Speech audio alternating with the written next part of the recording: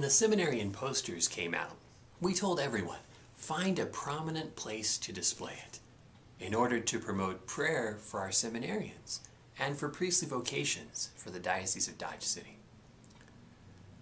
So how could I possibly complain when I recently visited a parish in our diocese, one that will remain unnamed, and found this can't miss bulletin board?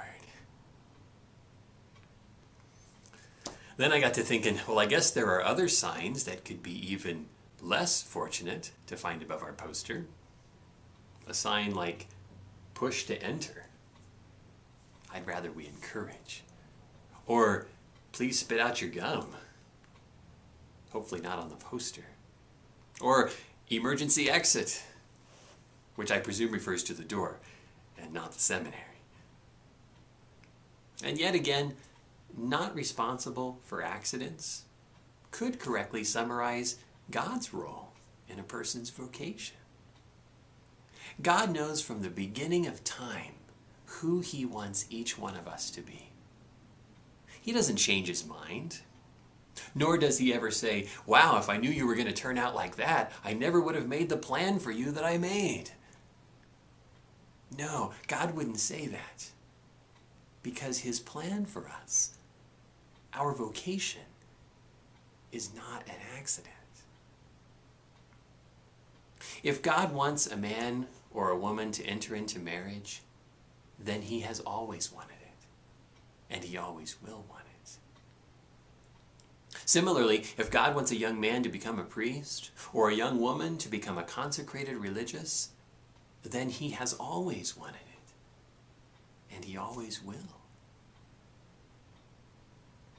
Is it possible then for a vocational decision to be an accident?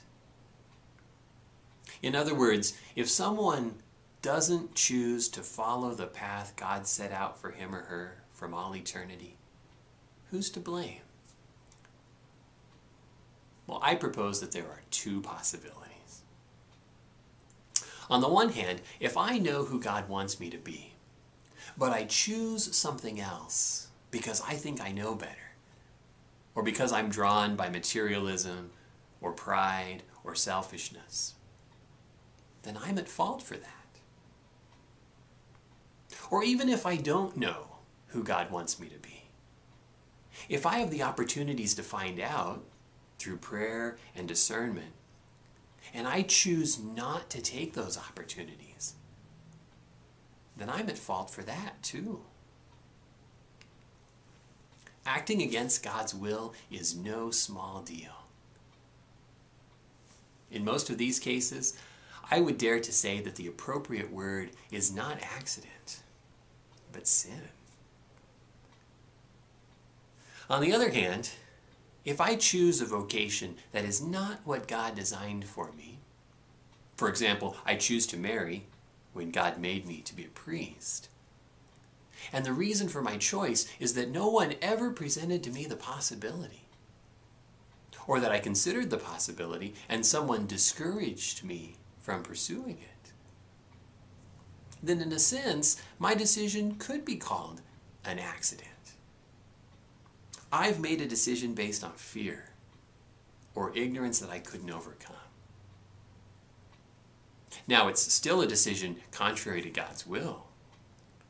But the blame, even sin, belongs to the person who didn't encourage me or who actively discouraged me.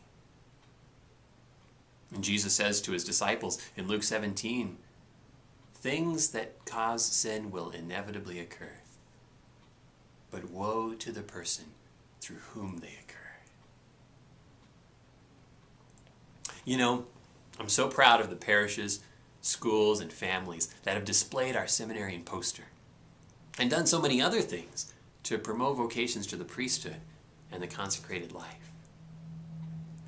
If each one of us does our part to be open to the voice of God, if each one of us does our part to encourage our children, our siblings, and our friends, then we can confidently say that we are not responsible for accidents.